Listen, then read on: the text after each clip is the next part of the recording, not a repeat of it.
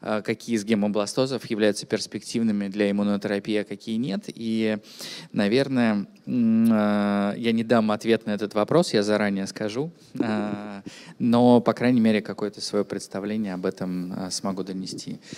Если мы посмотрим на частоту заболеваемости гемобластозами, то мы увидим, что где-то, наверное, процентов 60 а, всех заболеваний это Б-клеточные опухоли, процентов 30 это миелоидные опухоли и процентов 10 это все остальные линейные опухоли. В основном то клеточные. Судьба не без иронии, и э, когда Зелик и Асхар сделала свой первый э, КРТ-продукт э, в 90-м году, а, он его испытывал на а, диффузной Б крупноклеточной лимфоме, а, CD20 положительный, это был анти-CD20 CAR.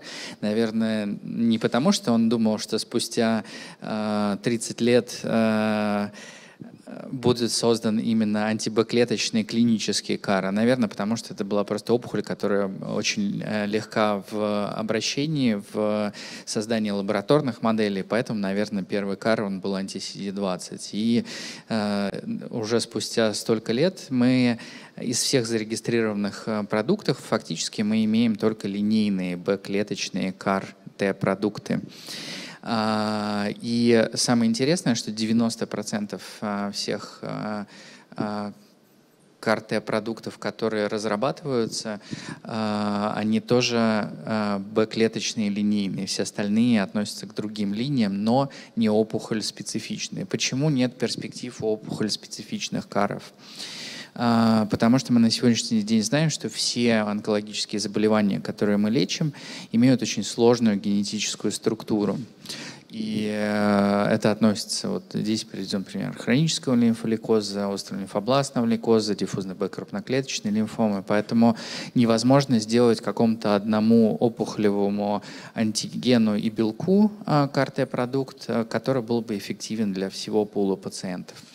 Кроме того, мы знаем, что э, существует клональная эволюция в процессе заболеваний, и очень много работ практически при всех вариантах гемобластозов, показывающих вот эту вот клональную эволюцию. Но обычно э, все эти работы фокусируются на нескольких точках, там, от двух до пяти точек, э, в которых оценивается клональный состав – тем не менее, на сегодняшний день а, развивается такая теория континуума опухоли, соответствующая теории Дарвина, э, при которой 99% видов уже вымерли. Да? И, соответственно, когда мы имеем опухоль в какой-то момент времени, мы понимаем, что 99% клонов этой опухоли, они на этот момент тоже вымерли, поэтому э, вот спектр э, субклонального состава, он, по-видимому, существенно больше, чем тот, который мы можем зафиксировать в конкретный момент времени. Поэтому перспектив, наверное, у э, опухоль специфичных КРТ э, лимфоцитов э, нет. Соответственно, остается вопрос э, линейных э, КРТ лимфоцитов, и здесь э, необходимо, чтобы выполнялось несколько требований к этим продуктам.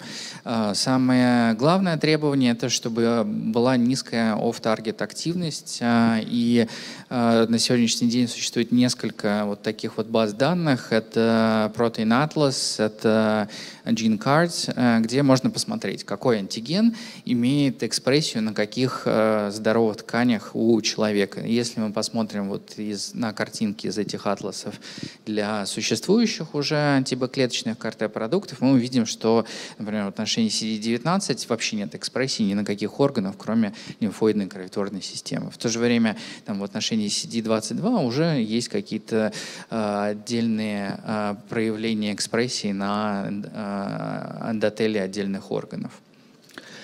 А, и если мы посмотрим все-таки, какие выбираются карты клеточные продукты для исследований, даже до клинических исследований на этом этапе, в отношении, здесь пример приведен множественные миеломы, мы увидим, что выбираются в первую очередь те продукты, а, у которых низкая off-target активность. То есть, например, наибольшее количество исследований на сегодняшний день связано с анти-BCMA и а, анти-SLAMF7 каром, при том, что анти-CD38 мишень является очень перспективной со стороны анти, антитела. На сегодняшний день это стандарт терапии множественной миеломы. Вот исследований картоклеточного продукта в отношении этой мишени очень немного. Почему? Потому что это очень распространенный антиген, э, и он встречается в организмах, начиная с морских губок да, у живых организмов, поэтому э, по-видимому, клиническая токсичность этих продуктов будет очень сложно контролируема. Второе, э, второе требование к, к мишени картоклеточного продукта – это продукт должен быть эффективен. И здесь влияет три основных фактора на эффективность. Во-первых, как быстро пролиферирует опухоль. То есть пролиферирует ли она быстрее, чем картоклеточный продукт, или картоклеточный продукт пролиферирует э, быстрее, чем опухоль. И вот все опухоли, они вот на вот этой картинке из журнала Science располагаются вот на такой вот восходящей, э, восходящем тренде пролиферативной активности. Во-вторых, есть разные другие факторы опухоли. В первую очередь факторы микроокружения, которые тоже обеспечивают рефрактерность опухоли к э, Т-клеточной терапии. Ну и третий момент – это как много мутаций происходит в, опухоли. И вот под пунктом Б здесь показана классическая такая картинка Мишеля Сиделайна. А, где показано, как э, разделяются опухоли в зависимости от количества их мутаций. Соответственно, чем э, более мутирована опухоль, чем чаще возникает мутация, чем, тем а, чаще таргетная мишень изменяется к картоклеточному продукту, потому что КАРТ а, всегда таргетирует одну какую-то последовательность аминокислот. Если она меняется, то, соответственно, картоклеточный продукт становится неэффективным.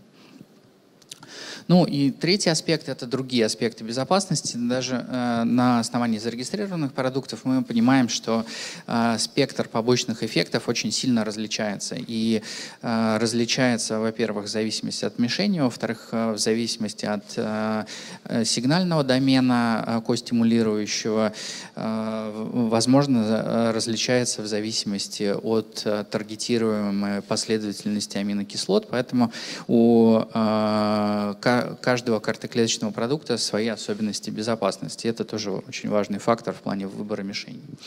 Что мы знаем о линейных э, бэклеточных карах на сегодняшний день э, в плане э, вот этих вот критериев? С точки зрения безопасности мы на сегодняшний день понимаем, что это очень безопасная терапия. Это исследование, которое мы провели в рабочей группе BMT по осложнениям, которое сравнивает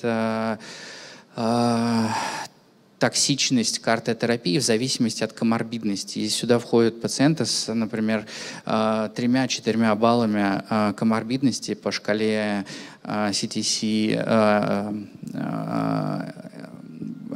по шкале трансплантационной коморбидности. Тем не менее, никаких различий в вероятности летального исхода у этих пациентов нет. То есть даже очень коморбидные пациенты могут достаточно легко переносить эту терапию. И если вы посмотрите, всего 2% летальности, при том, что это пожилые пациенты, коморбидные пациенты. И э, отсроченная летальность составляет дополнительно всего лишь 1%. То есть мы можем сказать, что анти-CD19 CAR на сегодняшний день это безопасный вариант терапии в сравнении с, например, трансплантацией. Если мы двигаемся в отношении других каких-то мишеней, то здесь у нас, конечно, появляются дополнительные нежелательные явления. Мы все знаем о а, особом варианте нейротоксичности при применении анти-BCMA CAR, который а, вызывает такое паркинсоноподобное расстройство. Или если мы переходим на анти-CD22 CAR, а, то мы видим, например, эндотелиотоксичность, да, мы видим ДВС-синдром у четверти пациентов, а мы видим у 5% пациентов атипичный гемолитико-уремический синдром.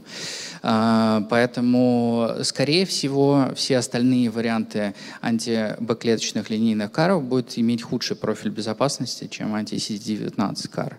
Что известно о долгосрочной токсичности этих каров? Вот есть такое опасение, что у этих пациентов будет очень много инфекций. Оказалось, что это совсем не так. Всего 2% серьезных серьезных нежелательных явлений у тех пациентов, которые э, пережили 6 месяцев от карты терапии, и они, в общем-то, единичные при использовании двух анализируемых карты продуктов.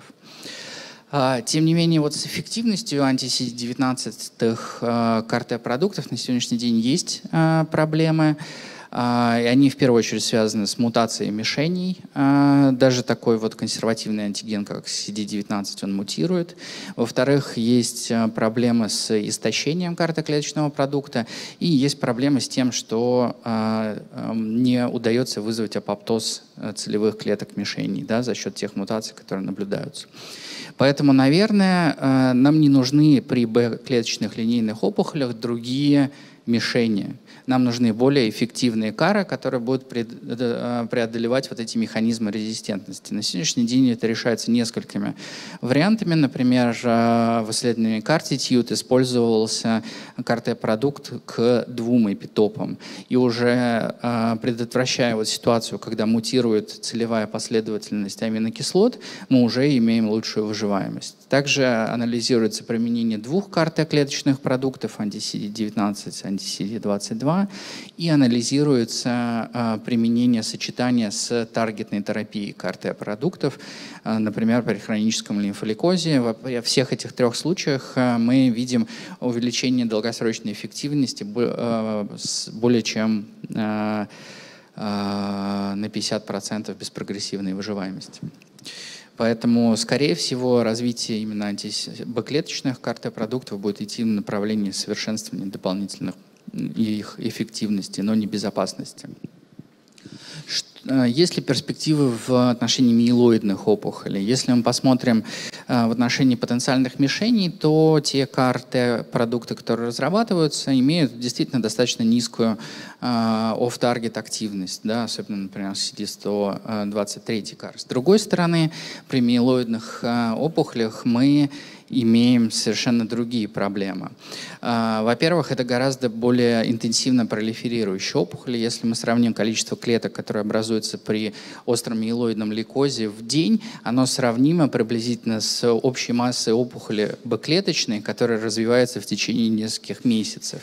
То есть, во-первых, мы имеем большую скорость пролиферативной активности. Наверное, исключение это миелодиспластический синдром, но там есть другие проблемы, о которых я скажу позже. Во-вторых, это очень сильно мутированные опухоли. Например, мы проводили исследования, где оценивали ну, такие нетипичные гены для мутаций, например, гены контрольных точек, и увидели, что при миелодиспластическом синдроме очень э, большое количество мутаций в рецепторах контрольных точек. То есть даже антитела, которые их таргетируют, они будут в значительной степени неэффективны. Точно так же и картоклеточный продукт будет сталкиваться с той историей, что все время мишень будет изменяться.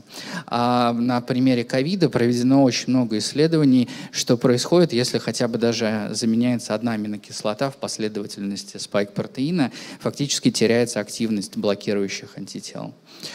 А, третья история заключается в том, что а, в отношении Мила Паэза в, даже у здорового человека существует очень важная роль системы контрольных точек. И вот мы буквально э, несколько недель назад э, направили на публикацию статью, где показали, что э, очень высокая экспрессия PDL1, TIM3, э, миелоидных э, супрессорных клеток в нормальном костном мозге, и это обеспечивает функцию регуляции нормального гемопоэза. Тем не менее, при миелоидных опухолях опухоль эксплуатирует вот эту систему, и у них значительно повышенная экспрессия PDL и TIM3 и значительная доля uh, повышения миелоидных супрессорных клеток, поэтому а, скорее всего, очень важную роль будет иметь дополнительные механизмы резистентности к артетерапии при миелоидных опухолях. Таким образом, а, именно миелоидные неоплазии представляются маловероятными для а, реализации. Ну и третий момент, связанный с миелоидными неоплазиями, что очень много мутаций наблюдается в генах, отвечающих за апоптоз. То есть даже если мы преодолели все предыдущие проблемы, вызвать апоптоз у этих клеток очень сложно. Ну и на сегодняшний день опубликовано всего две э, серии пациентов, по три пациента, э, применение антисиди-33, антисиди-123 карты, клетки, э, карты клеток, и там действительно очень скромные результаты у этих пациентов. Ну и последняя группа заболеваний, за исключением редких форм, например, там НК клеточных опухолей, это Т-клеточные опухоли. Здесь надо сказать, что различаются Т острый лимфобластный лейкоз и Т-клеточные лимфомы по своей генетике и своему, своей биологии очень сильны.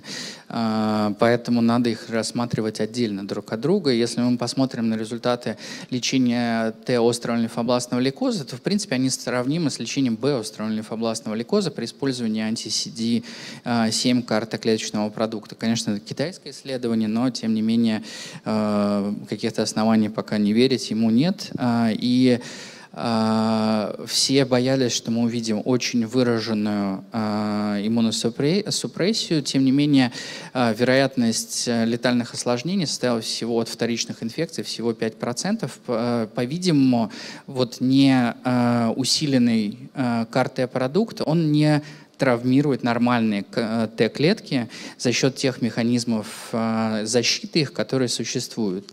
Если мы перейдем к Т-клеточной лимфоме, то здесь уже Т-клеточные лимфомы обладают всеми механизмами защиты Т-клеток нормальных и, наоборот, даже их эксплуатируют для защиты от э, собственной гибели.